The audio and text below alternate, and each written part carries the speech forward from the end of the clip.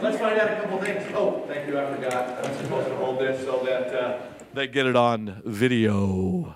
Uh, but first off, if you are visiting New Hope today and this is your very first Sunday here, you have honored us and you have blessed us by your presence. And we want to say thank you very, very much for coming. There are some visitor cards in the pew in front of you. Uh, it's green at the top. We'd love for you to grab one and fill it out, drop it in the offering bag when it comes by a little later. Uh, we make a promise here we will not bother you on the phone, we will not beat on your door, but through the mail, we will send you information that tells you about New Hope and hopefully answer most of your questions. And uh, we would just love to know that you were here. For the rest of the church family, if you have messages to the staff, prayer requests, changes, uh, updates that you need, appointments to be made, fill out the other side of the card, put it in the bag, and we will attend to it as quickly as we can uh, this week. But thank you so very much. How many of you are here this morning and you were here at the marriage conference Friday night and Saturday? Stand up. No, just stand up. Come on. Stand up. Stand up. I know. Uh, all right, here's a question. Here's a question. Look, Joe, would you look at all the smiles?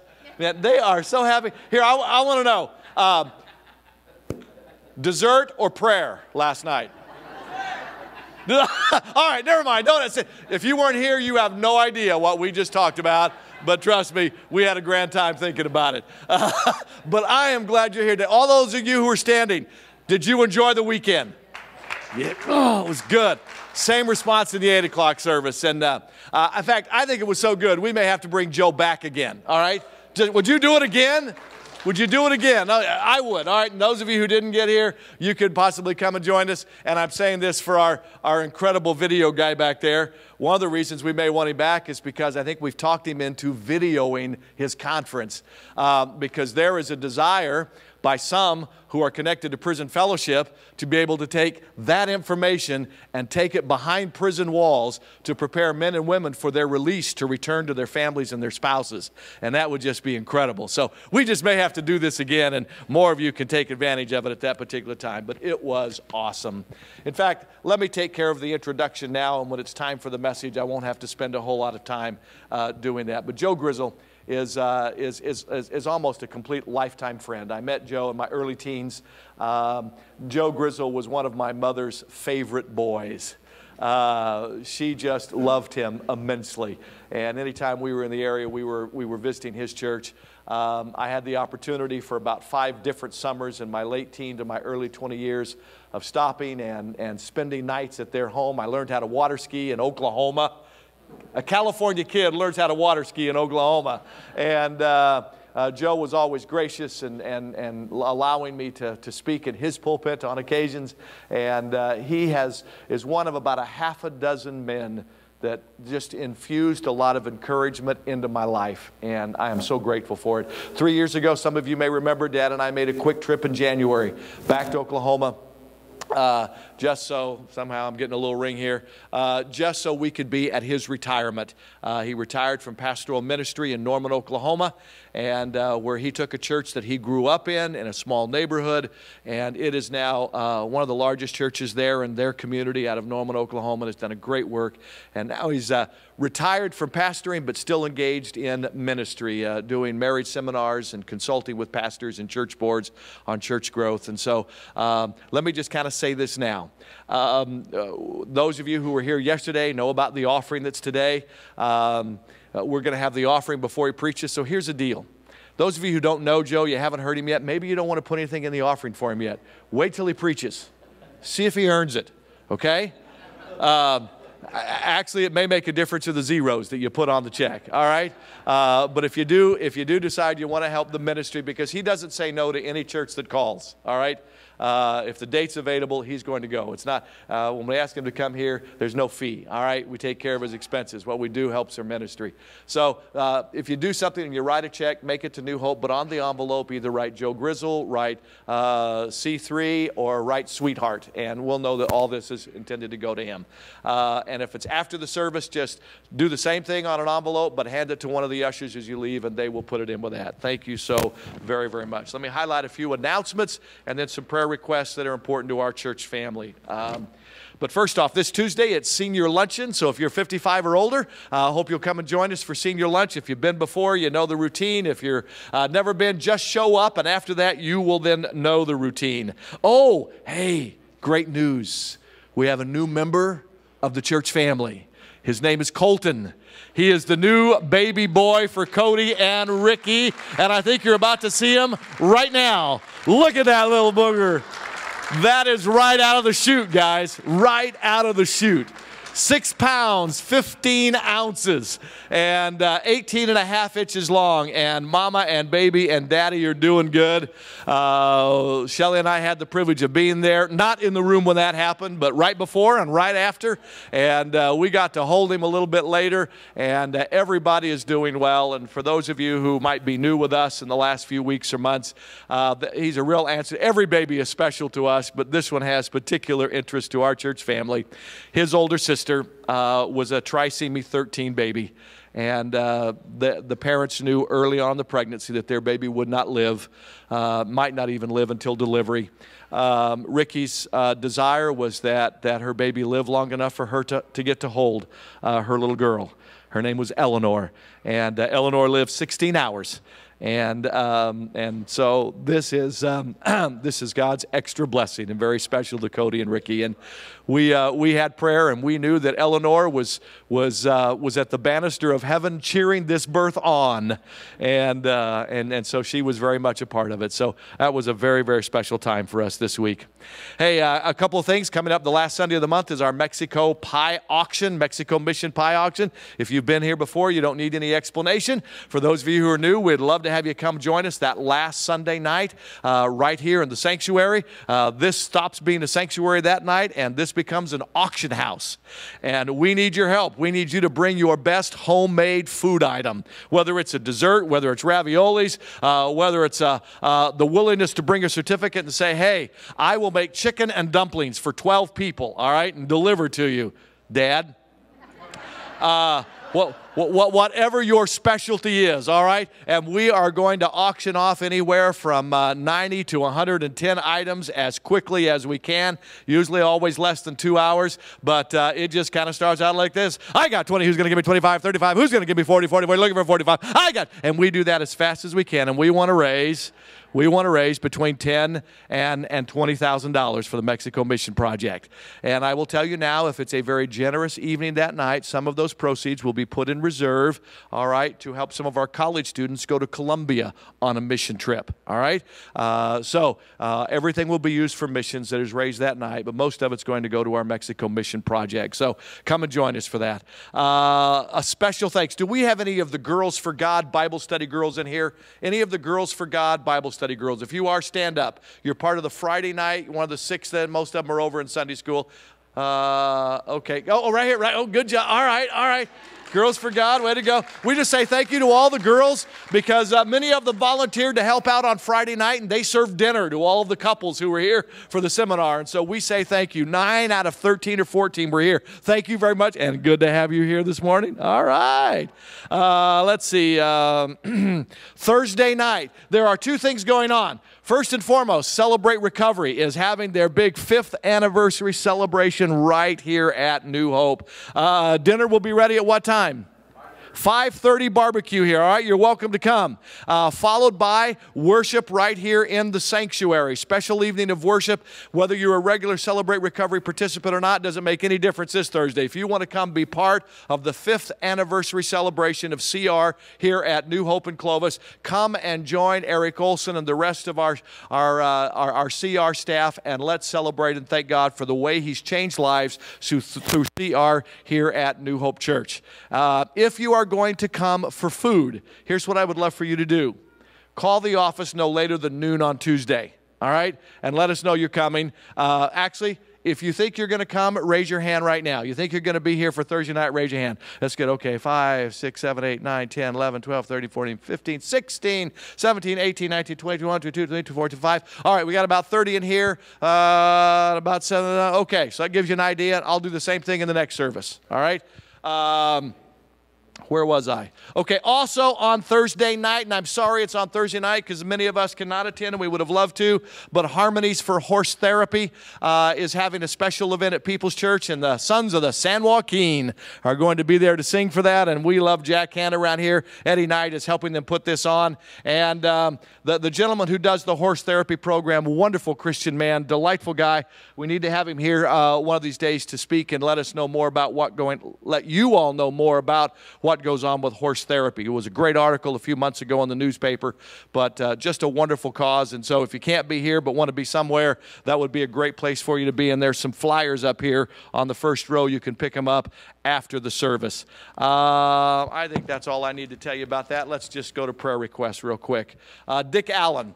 Uh, Dick and Lola, regular part of our church family, usually sit right back there behind the rights. Uh, I think most frequently, uh, they have been married 72 years. I think they should have been at the marriage seminar to figure out how to get this thing done. But uh, actually, they probably would have been, but he was in the hospital and he still is. He's had uh, an infection that has created kidney failure and uh, he is going to recover, they say, but please be pray- praying for Dick and Lola Allen. They would appreciate that so very much. Wanda Medeiros' mother passed away last week, and her service is going to be uh, this coming Tuesday. Uh, I meet with the family this afternoon, so uh, if you think you want to attend, call the office tomorrow, and we'll have all the particulars for you at that time. Uh, the Sassano family, long, long time Clovis family. Uh, if you've been around here very often, you have been to Sassano's Western Wear there on Pollasky. Uh, a couple of years ago, I had the privilege of sharing in uh, Les's uh, wife's memorial service. Les, the founder of Sassano Ware, uh, went home uh, to be with the Lord last week, and that service is going to be on the 18th. And uh, so, a week from this coming Tuesday, be praying for the Sassano boys as they go through this particular time with their dad. Last Sunday afternoon, when I left the last service and went over to the office to lock things up, saw a couple waiting and uh, they said, We're sorry to interrupt you on a Sunday, but um, um, our, our brother just died and we don't know what to do. Uh, can you help us? And so we spent a little time with them. And so there'll be a service this Friday here at the church, uh, excuse me, Saturday here at the church for Tim Bain. So please remember the Bain family. Uh, Barbara Quintana. 10-9 uh, Quintana. Uh, for those of you who knew her at Clovis PD, her service was here last Friday. Thank you for how many of you were here. Uh, Clovis PD did a great job in showing their support. And just remember, uh, just remember her daughters and her son. They would appreciate that so much. And then, um, not from our church, but uh, want to want to highlight Milo Martin. He's visited our church on many occasions. Former member, uh, he was a member at Northwest Church uh, very active there, uh, led their men's ministry for a number of years, was, was one of the primary movers and shakers for bringing Celebrate Recovery to Northwest, which was the first one in the valley. And Eric Olson got in on the ground floor with that, and uh, he's been very instrumental with prison fellowship throughout the years. And uh, Milo Martin went home to be with the Lord after a pretty lengthy illness. And so that service is going to be two weeks from yesterday at Northwest Church. So just remember the Northwest Church family and Milo Martin. They would appreciate that very, very much. And it is great to have one of our members back in town and state and country. Jan Parsno, stand and take a bow to your church family. It is great to have you visiting with us today. You look good. You look good. All right uh, she's here, and my son will be through her town uh, almost uh, tomorrow sometime. So uh, be praying for Brand as he travels back to North Carolina. I'm going to ask our ushers to prepare to wait on us as we have our morning tithes and offering. And uh, following the offering, we will uh, actually, during the offering, we will be engaged in worship. Gentlemen, will you come on down, please? Father, it's great to be your child. It's wonderful to share this gift that you've provided to all of us this day, the day that you've made and the day that you have made available to us an opportunity to be glad and to rejoice in it. Thank you for the beautiful sunrise that you blessed us with this morning. As we looked at the grandeur from the east, we could not help but believe this was no accident, but there was a creator, a designer, the God of all things who made this possible and gave us a display of his handiwork this morning. And Father, just as the sun rose in the east, you desire that your sun be risen in each of our lives. If there's a man or a woman, a young person who's here today, and maybe they're wondering, why, why did I show up at New Hope today?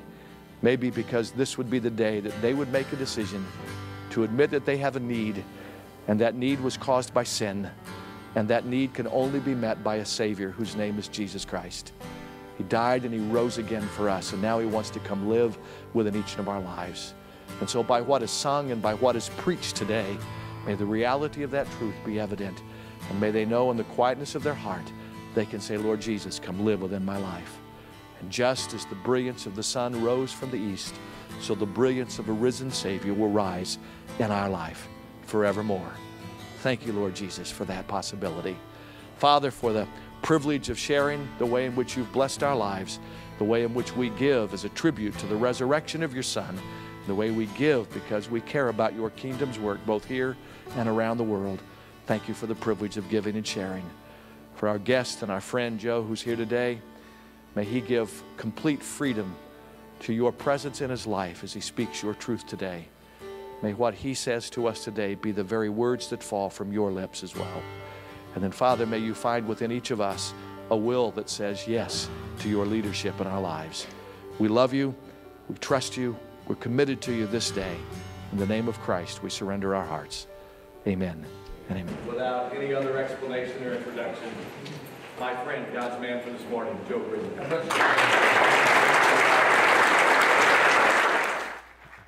You know what? I like this church. I'm, I, you know, I've been here for the weekend, and a lot of you haven't met yet, but I have really uh, enjoyed being here with those of you who've been privileged to meet, and it's a real delight to be with you again today. Uh, what I want to do, get right into this because I kind of tailored this morning what I did in the first service, maybe for something that might fit people who are a little bit older, but I know we have a lot, just real, real cross generational here. So I want to try to challenge you today with some things that really count for life. But more than anything, I want to give you a life lesson, okay? And uh, a lesson that I, I, listen, I believe you'll remember this. I think it'll stick in your mind and hopefully never forget. Uh, I know we had a young man, I think Marcus was the youngest. He was 16 years old in the first service. I told him, I said, Marcus, you're going to learn a lesson today. If you will just take this and never forget this, it will completely change the direction of your life and future. And so, but to make this point, uh, what I want to do is use a game that's fairly familiar to most of you. Matter of fact, I, my gamble is that it's really familiar to all of you, okay? I, I've never seen a group of people like this size, most certainly, that failed the test on Monopoly. Okay, now then, Monopoly was really, really, this is an old game. Was developed first in 1904 uh, as a what they call the landlord's game. It was a lady that developed it, and uh, then by 1934 was looked at by Parker Brothers as the possibility of a game that they would uh, they would begin to publish and, and distribute. Well, they after they tried it, they said, no, this game is too difficult and it's too long. I agree, it's too long. Uh, I don't know that I ever finished playing Monopoly, okay? I, we've always just quit before the end of it. But it is a great game. Everybody plays it. Everyone kind of really falls in love with it. And uh, so in 1936, they bought it, published it, and this game really came into its own during World War Number Two. And while men were all fighting the war, a lot of families and kids and stuff grew up on Monopoly. It's still popular today among, among adults and children, but for children even, uh, even, even more particularly. Now, what I want to do, I want to talk about Monopoly a minute, and then I want to make an application that hopefully will really stick, okay? So... Uh, let me open this Monopoly board. I really love, I have never seen Monopoly in a wooden box. And uh, I have never seen it with the pieces. Some of you are old enough to remember the wooden pieces. They're not plastic. I'm like, it's not made of plastic. It's unbelievable because the whole world is made of plastic. So, anyway, but uh, so I'm going to take just a moment right here and talk about uh, uh, the game, okay, and ask you some questions. Do any of you know what was the color of the $1 bills? Green. Boy, white. Okay, boy, that's I can't believe that. A while ago they struggled with that. I couldn't believe it. It's like white. So why? Because ones mean nothing. Okay, they they're they're they're so valueless. Uh, what's the color? Remember the color of the five dollar bill? Pink. Good. Okay. The main thing is the, is the color of the five hundred dollar bill. What was it? was gold, yeah, bright gold. Oh yeah, and uh, so we would always pass out the money, of course, first, and then of course the whole idea uh, in this game. Uh, uh is to get your get your your piece out here. I want to put one out here, and then of course you roll the dice, and you would go around the board. And as you went around the board, the idea was to do what? What would you try to do?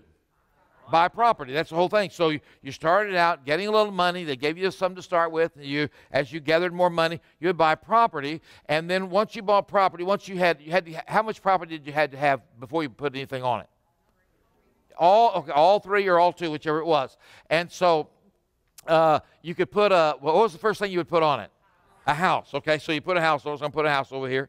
As a matter of fact, uh, where was the best place to put, where was the best property? Boardwalk. you guys are so good. Anyway, so Boardwalk. How many houses did you have to buy before you? Four. Okay. I, I don't. Y'all want to just make up the next question? You know what it is. Uh, you're on track. Okay. Uh, and then after you got four houses, then you could buy a. A hotel, okay. I'm putting a hotel on Boardwalk, all righty. And uh, so, anyway, I'll get a few more game pieces out here. We're all playing the game. And, uh, and so, does anybody remember how much did you get for passing Go? 200. 200 bucks. Boy, wasn't that cool if you could pass Go? And, and uh, there's a lot more to the game, of course. Uh, the real critical question Does anyone know how much the rent was with a hotel on Boardwalk to the person that landed on you? It was what? 2000 It was $2,000. Okay, so now keep in mind, let's think about this game now for a moment, okay? Okay, this game was really a, a game of capitalism. It's all about, it's about getting money, buying property, building buildings, and getting rent. So it's all about really making money. Actually, it wasn't just about getting money, it was about crushing your opponent, okay?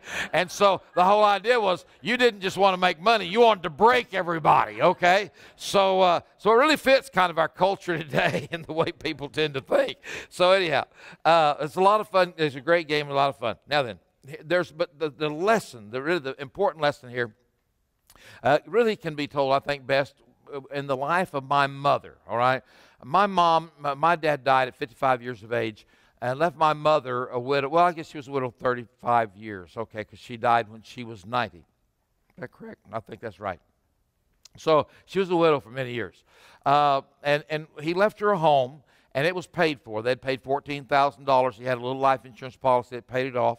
And so she lived in her home, uh, she continued to live in her home, uh, debt free, and then she had to go to work. So she took two jobs, and she worked at a uh, funeral home, she worked in a, a restaurant uh, as a hostess, and, and just made her way. For all those many years, uh, she lived on her own. It was very productive and, and very much a contributor to the community. So, great lady. Anyway, the point came, the point came in her life when she was, uh, it was at 82, that really she was really, she got where she didn't have the strength to work and driving was difficult for her and she's a little dangerous driving and, and, and it became apparent that she really could no longer live alone. She, she just couldn't. And so uh, we made the decision that we would move her to a facility that was independent living, but where she had people around her, she could get meals. And so to do that, we had to get rid of some stuff. So what we we had a garage sale, and in the garage sale we just we went through. I mean everything. You know, went through the house, and she collected salt and pepper shakers from all over the country and we just we just sold all those salt and pepper shakers and went through the dishes and took them out and sold dishes down to just a few because in this place where she was moving there were three rooms there was a kitchen living and dining I mean, living and, and uh, dining and then a, a, bedroom and but we had two bedrooms had to get rid of one of those furniture and everything so so you know so what we did is just kind of one by one we started putting things back in her box because you see, somewhere around 12 to 13 years of age, we all start playing this game. We start making money. And then we start buying things and selling things and earning and having a, uh, a uh, goals and, and really can become so captured by our financial goals and getting a home and having a car and securing the future of our children that we forget that the day comes that we have to have our first garage sale this was just a few weeks ago. I was in my attic. And I, I was taking things out a lot of stuff, junk. I had snow skis that no one should ski on. They're just dangerous, okay?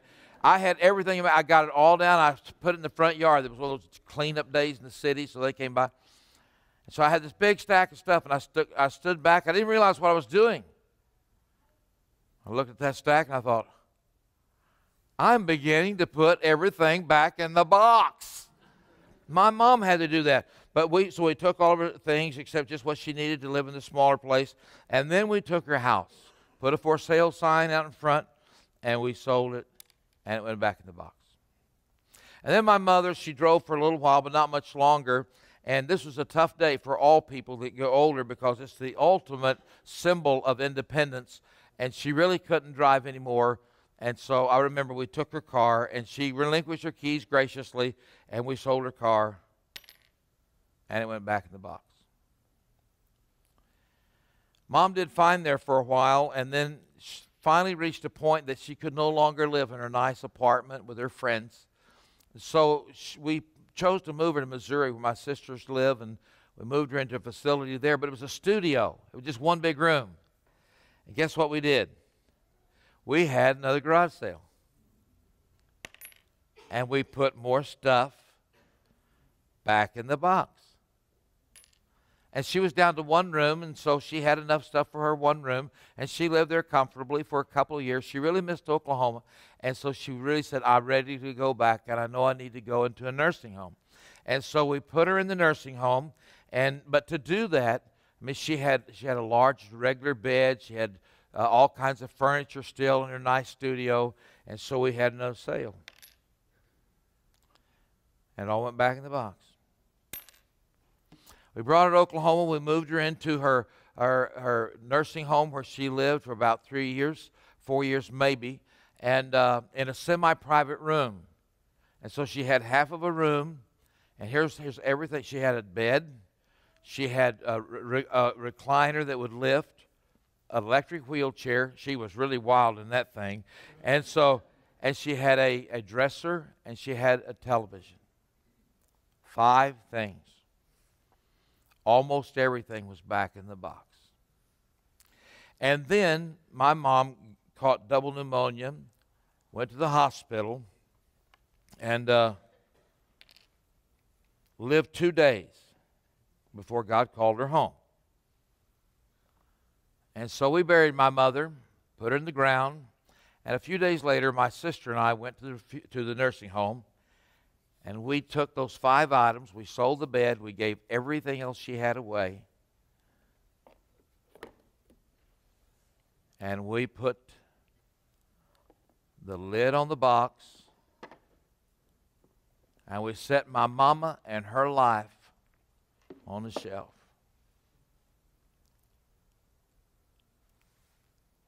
That's where you're headed. I was I did a funeral maybe 2 weeks ago for a family and one of the sons was extremely successful and lived in a very nice section of our community and I remember as I was leaving his home, they have a, a 10,000 square foot home and there's two people, so I assume they have plenty of room to get to. Okay, but the point is, i why would you even do that? But be that as it may, as I was as I was driving away, I thought about Greg and how proud he was of his home and how much of his time, effort, and energy he poured into making a lot of money to have that home. Nothing wrong with that, but that he just doesn't realize. Because as I was driving away, I thought, first I thought, Lord, I'm glad I don't have that home because I couldn't keep the yard boat on it. But, but I, as I was driving away, God spoke to my heart. He said, Joe, remember, eventually Greg will put all that in the box. And his life will be down to one thing. It's not, listen, life is not about possessions. It's not about stuff. It's not about money. It's not about power. It's not about prestige. It's not about pleasure. It's not even about places that you can go. And all those things are fun to do. And I want you to have a wonderful life. But I want you to never, ever, ever forget that when it's all said and done, which will be ever so quickly, everything goes back in here. And I find myself looking at that box and I think, what remains? What has value? And there's only one thing that matters in life. First, of course, and I'm gonna we're gonna lay this foundation. First is a relationship with Christ, is, is a relationship with God. So we know because mom, my mom, she had she knew Jesus, and when my mom, she left everything behind. She went on to heaven, and so things were great for her. But I want to talk to you today about the one thing only one thing that's worthwhile in life. Only one. You ready? Only thing you can take to heaven. One thing. People. Just people. What do I have to do as a parent and as a grandparent to touch the lives of the people I love most, to influence on an ongoing basis my children and my grandchildren. Because when it's all said and done, all the time, effort, and energy that we, we put into making money, and the fact is, it just all goes back in the box. A true story, I, I say a story I heard, I'm sure it was true many times over, about a father. And he had promised his children, I'm going to take you to the circus on Saturday. And early Saturday morning, a phone rang and he answered the phone. And his boss said, Absolutely, we've got an emergency. No one can handle this but you. Someone has to come in. Could you come in? Would you come in today and take care of this emergency? And the husband said, You know, I, I really hate to tell you this because I could even lose my job, I know, but the fact is, I will not be at work today. And his wife heard that and it really frightened her that it might jeopardize their financial security and their future. And the wife, she said, Honey, the circus comes around next year. And he firmly said no, and he hung up the receiver, and so kindly and sweetly he said to her, That's true, baby. The circus comes around next year, but childhood doesn't. Carpe diem, not just carpe diem, carpe momento. Seize the moment. Do whatever is necessary to establish and maintain quality relationships with people everywhere. Er, people everywhere important. That's what we've talked about all this weekend was marriage and how important marriage is and how important our spouse is and relationships because that's really all that life's about. And life is about your children and your grandchildren and what does it take to get them to heaven? And so, what I want to do, I'm just going to take a few moments. We're going to look past, first at this passage of Scripture, and then I want to share four challenges, okay? Four quick challenges. Uh, about, thank you very much. We're gonna let me let me just read this for you because I want to kind of comment on it as I go. This is Paul the apostle, and he starts in verse ten talking about his relationship with his church and the church building being built as a great church. Then he changes, switches gears. Verse ten. He says, By the grace God has given me, I laid a foundation as an expert builder. He was the founding pastor. He said, I came in, I founded the church, I laid the foundation, and now others, other pastors, other leaders are building on it. Each one should be careful how he builds. So be careful how you build your church. Maintain theological integrity, maintain a hunger to win the world to Christ, maintain those quality things. Then he changes. Okay, he switches. He says, for no one can lay any foundation other than the one already laid, which is Jesus Christ. So he says, as a church, Christ is your foundation. As a person, no one, you personally, the first thing to do is make Jesus the choice in your life and follow Christ. Best thing you can do in life. Because listen, doesn't matter how much pleasure you have, how much fun you have, how many parties you have, all goes back in the box. If you can just remember that, it will help you make good choices about your spirituality and that you will follow Christ and make him the foundation of your life. But then he continues. Now he says, okay, you've got Jesus as a foundation. Now then, if any man builds on this foundation, which we all build now on our lives, we make choices every day about our lives. If you build on this foundation using gold, silver, and costly stones, I'm going to call it diamonds gold, silver, and diamonds. Wow, that's good. And then he says, wood, hay, or straw. Is there not a big contrast there? He said, over here is, you know, this is really good stuff. This is really worth a lot. This is really worth nothing. And then he goes on and says, his work will be shown for what it is. Your life will be shown for what it is. It will be demonstrated because the day of Christ, the day of judgment, will bring it to light. It will be real, revealed or tested by fire. The fire will test. Listen, the fire of God's judgment and God's scrutiny, and even your own scrutiny of your life, the fire will, will come to test what you've done with your life. And it says it will test. I want you to say this with me, the, the last, last one to five words, okay? Let's say it together. It will test the quality of each man's work. The question here today is, is about the quality of your life. How well are you living? How, how, how good at, are you at seizing the moment and, and influencing? Uh, a lot of you are young. Uh, that's, and a lot of your parents, a lot of your grandparents, and this is true for all of us. If there are children in your world, especially uh, all of you have children in your world somewhere, but especially as parents and grandparents, and parents particularly, remember this the primary objective of being a good parent is not controlling the kids.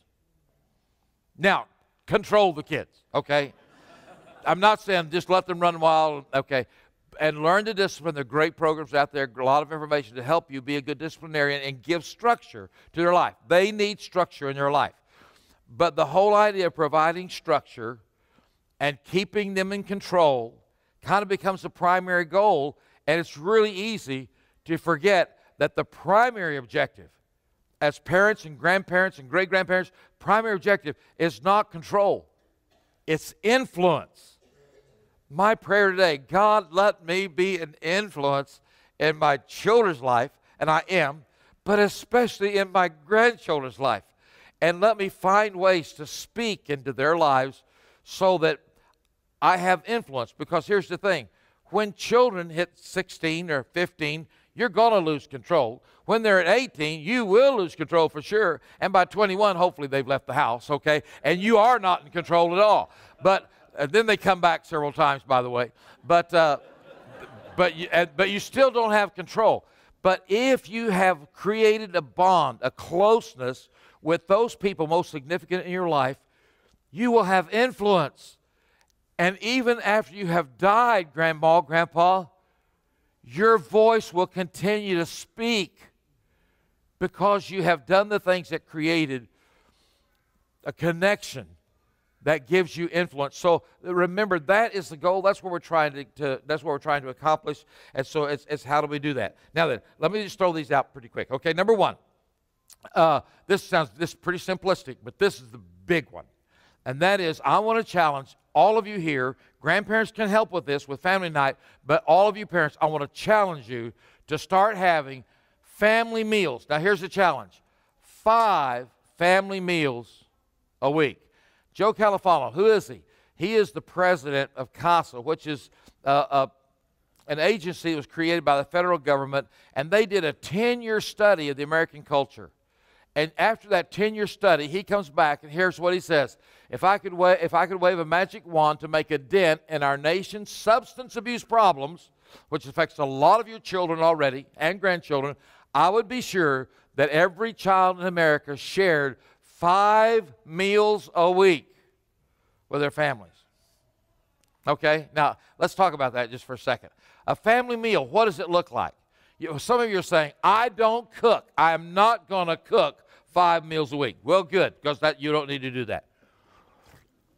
Order in, okay? yeah, or go to or go to fast food places. That's that's okay. The main thing is that five times a week, you with your children and grandparents, you with your grandchildren. This is an incredible thing to do. You have a family meal. It's always better at home. We have a family night every night we have since our children were little tiny, and they, we still have that even with our kids grown and grandkids almost fully grown uh, we still have a family night once a week because it's a time for us to sit normally now at a table and we just interact. We love to have the kids come to our house and bring in the food because we all stay longer. There's not noise not of, the, of the restaurant. We can hear each other and we just make unbelievable bonds and connections at those meals. But if, if you do it, it will be because you're very intentional. Here's the rules of a family meal. Number one, if you have children, Go buy a round table instead of rectangular one because you'll interact much better. Uh, number two, when you're ready for the meal, everybody has to come. That's the rule. That's a family rule. Go home and write a family constitution on the Constitution. Put the rules, and the first rule is we will all have five meals together a week, no matter what.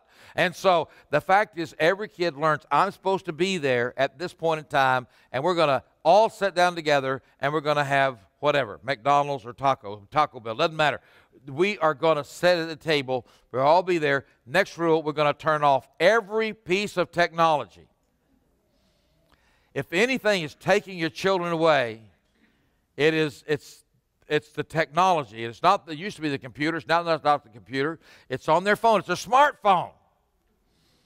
And the endless games they play. I just I, want I flew in here. I'm watching. You know, thinking these people. No one talks to anybody anymore.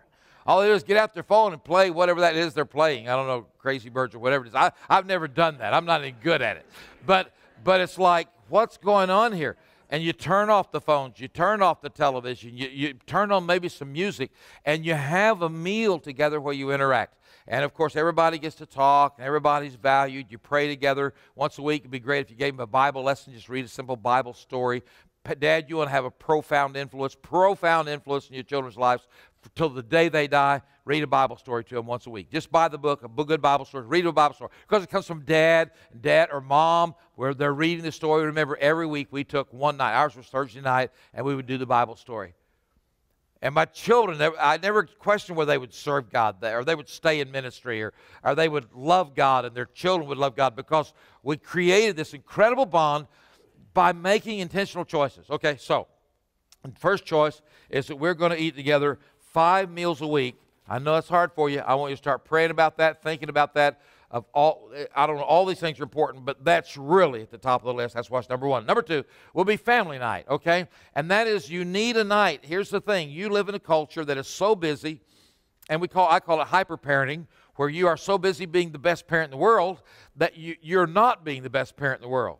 If your kids are involved in 15 sports and all you do is run them from soccer field to baseball field to football field, and, and you're in the stands cheering for them, which is wonderful, but are you ever having any personal interaction time? And so, whatever you got to do, I'm not, not, against sports. I'm just for doing things where you really interact with one another. Years ago, I, I shared this in the first service, but when my daughter, who's now 45, when she was seven years old, we had family night every, every Monday night, and uh, that Monday night, I had planned for us to fly kites. These were the old kites. You remember when kites used to be shaped like this? And and you put a tail on them, okay? So I got two balls of string, two kites, have two kids. So we went to the park and the wind was blowing nicely. So I got my son, he was about 11, got his kite going, he was doing good. But here was standing my little girl, she was seven years old, and we got her kite going. She, she said, I said, well, let you hold it here a minute. She said, well, Daddy, before I hold it, I want you to let it out as far as it will go. Just let it out, just as far as it'll go. I said, okay. I said, I'll just let it go. And so I was laughing and talking. We were visiting, you know, and, and uh, this little, this ball of string was just bouncing, you know. I mean, this wind was blowing and it was going further and further. And I mean, it was just spinning, you know. And I was keeping an eye on it, so I get smaller and smaller, and would laugh and talk smaller, you know. And then I'd look down, and just at the last second, I looked down, and I mean, just at the last second, I looked, but it was just a half a second late. I mean, the, the the string went right straight through my fingers, and and and the kite just took off. And I, I said, Oh no. I took, I thought, I mean, literally, it wasn't going that fast. I was running as hard as I could run. My little girl, of course, was kind of following behind. I thought, was going to kill her. She, oh, she's just going to cry over this. I ran across the park as fast as I could go. And lo and behold, I never got to that kite. I never could catch it.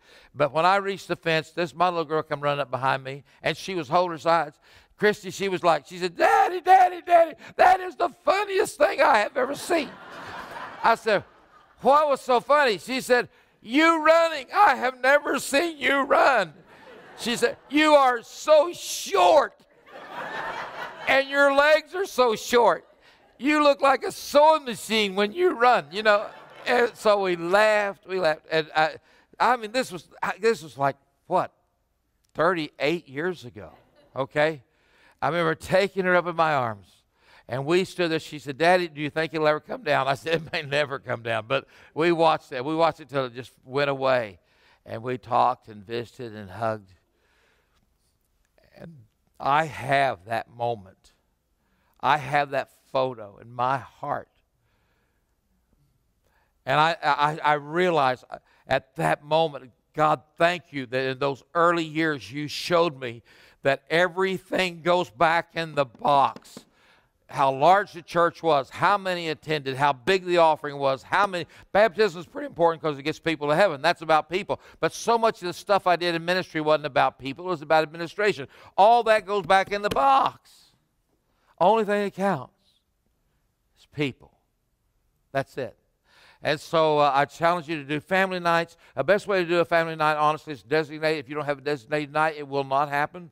But find the time in your schedule uh, that way you just protect it and you, you go have fun, you go have food, and uh, enjoy one another. Number three, family vacations, okay? Family vacations.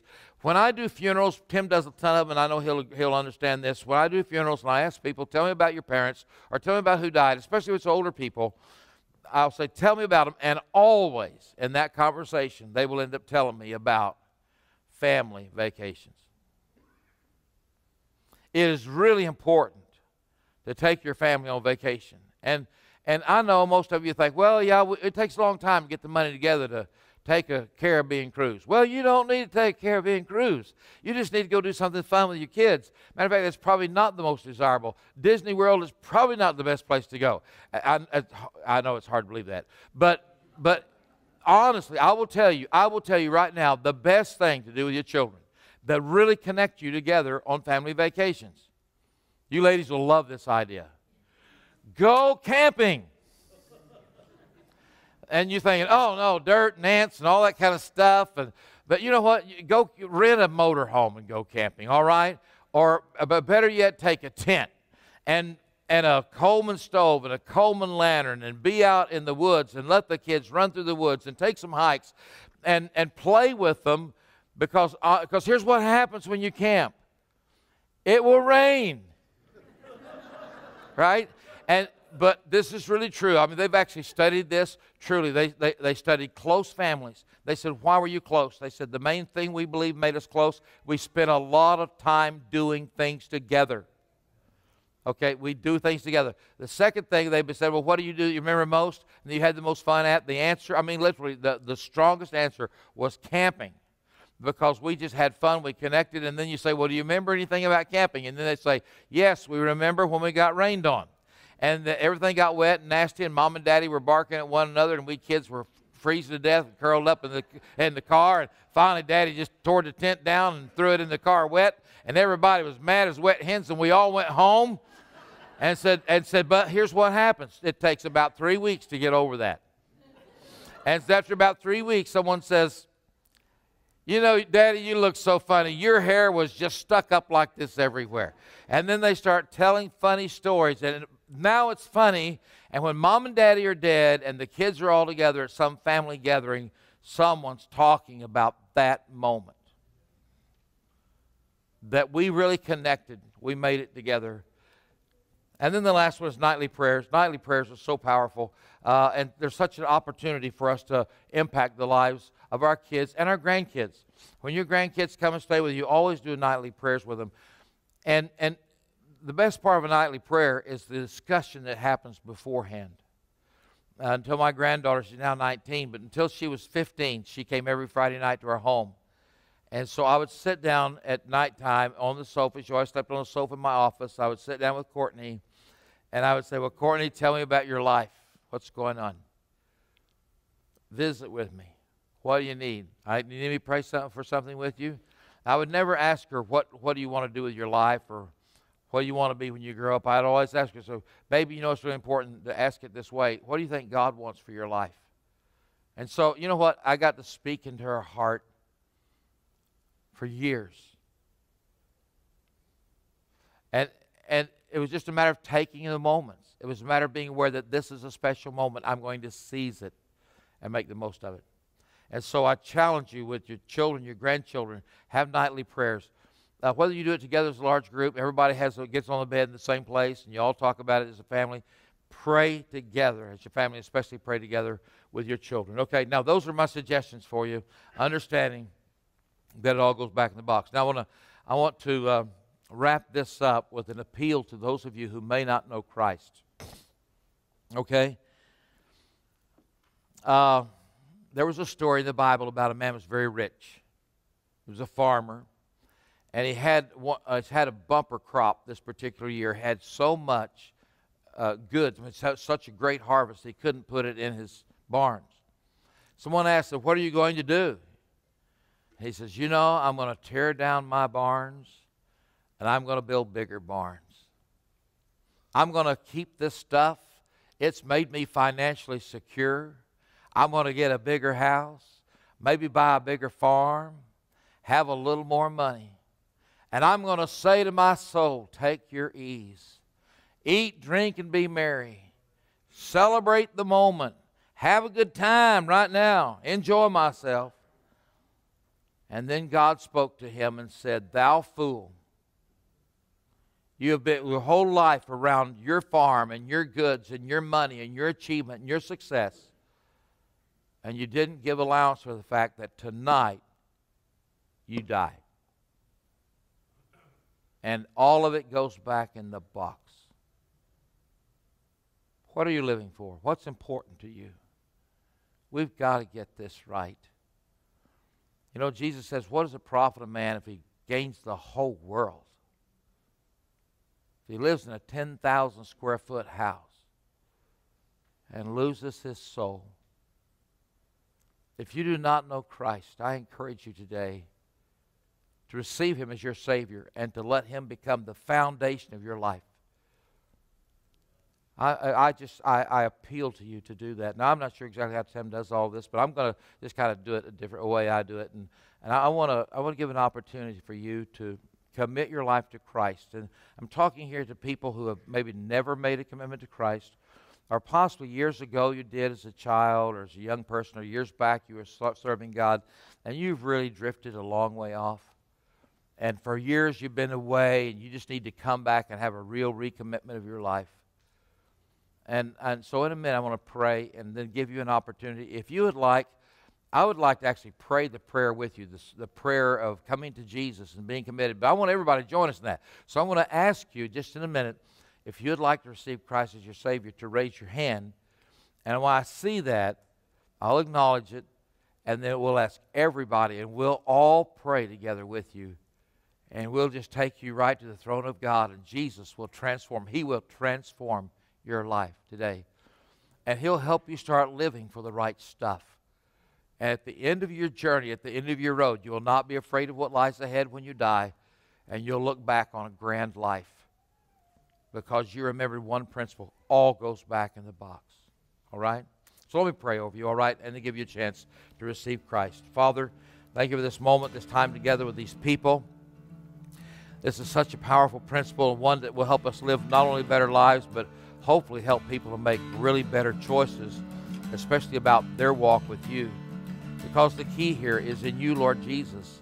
I couldn't really do anything for people eternally unless there was heaven. I couldn't even ask or hope or even pray effectively for my grandchildren, my children, until I knew there was a heaven and that there was a Savior who would save them and that you would work in their life and bring transformation and, and make their lives full and complete and happy. I, I just thank you, Lord, that you give us this grand opportunity today to say yes to you. I ask for these who may not know you that, that they will hear your voice right now as you knock on their heart and, and that they will feel the compulsion to say, Yes, I want to become a Christian.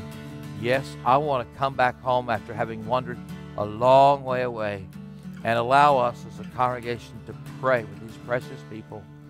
God, do a wonderful work in lives today. Change hearts, I pray, by your mighty power. Uh, in Jesus' name, would you keep your heads bowed for a minute and your eyes closed? If today you'd like to receive Christ and this is your moment and the Holy Spirit speaking to you, uh, I'd like to acknowledge that just by, just by raising your hand. I want to count three so you know when. But just hold your hand up just a second and look up at me so I can see you. It's very important to do that. Thank you. I see one back there. Good. Good. Before the count of three. Another one back there. Another young lady. God bless you. Young woman right there.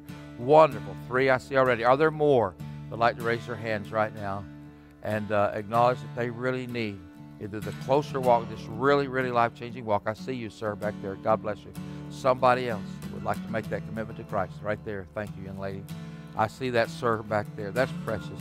That is precious. This is the most wonderful day of your life. I mean that. Most wonderful day of your life. And it's a privilege. Any more, we'll give it a second. Okay, I want I want us to pray. You're gonna leave you seated right now, okay? And ask you to, to everybody join me as I'm gonna lead this prayer.